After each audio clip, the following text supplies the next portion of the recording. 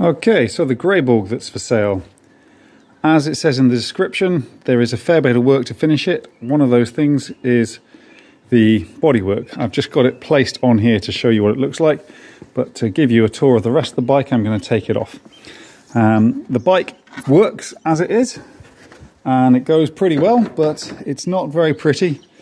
Um, and it has a couple of things such as the charging system at the moment is very basic and pretty slow. So, here we go. That there is a Cromotor V3, rated at 3 kilowatts, can pull over 6 kilowatts um, at peak. Uh, if you go and look them up, you'll find they are incredible motors and it makes this bike really accelerate hard. Um, and on gravel, like we've got outside, it can easily wheel spin. Um, so, motor controller. It's a Kelly Controls KEB72451. You're not going to remember that number, it's there in the description. Basically, you can program this through this port with an included cable. Uh, at the moment, I've got it set to very tame. You can wind it up if you want. Um, and then next part is the batteries.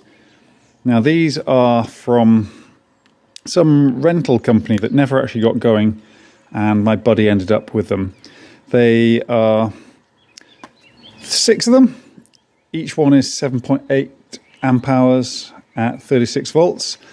They are wired three parallel, two series, which gives us 72 volts, which means that this guy can kick out a good bit of power into here because more volts equals more RPM so that's more speed. Um, it's about 1.6 kilowatt hours, which I would estimate gives you a range of some kilometers. 20, maybe 30, honestly don't know. Um, but it's a decent sized battery is what I would say. If you rode it like a normal e-bike at 30 kilometers an hour, you would get like over 100 kilometers, but you're never going to ride it that slow. So that's the electrics. Oh, I guess a little bit more on the electrics.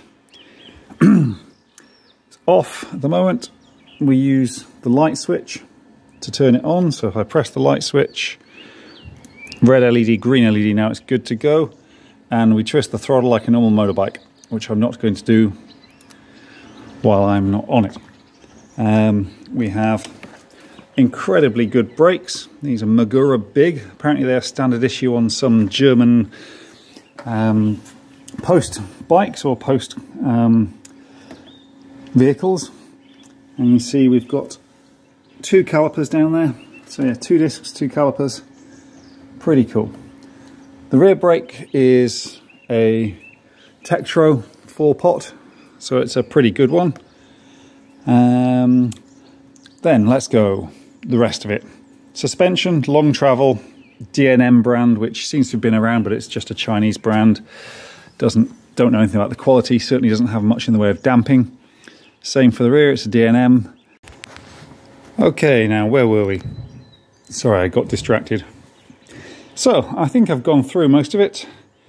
Um, oh, also it does have a center stand, which is too short and no good. um, and a brand new comfortable saddle. That's actually a really nice saddle. Um, bit of a shame to see it go. Rambling, get to the point.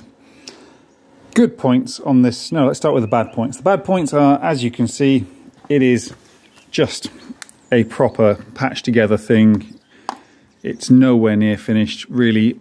If you are going to buy this and expect to commute on it every day, forget it this is a project for someone to either just use as is but be happy to work on when things go funny, or it's a project to turn into something really good looking and really polished.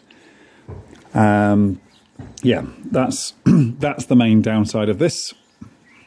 Um, upsides are it's fast. That motor is really powerful. If you don't like this bike, but you do like want to go fast on a bike, that motor is a great thing to have. The brakes are fantastic. Um, and the saddle is fantastic. So yeah, fast, stop fast, stops well, and is comfortable.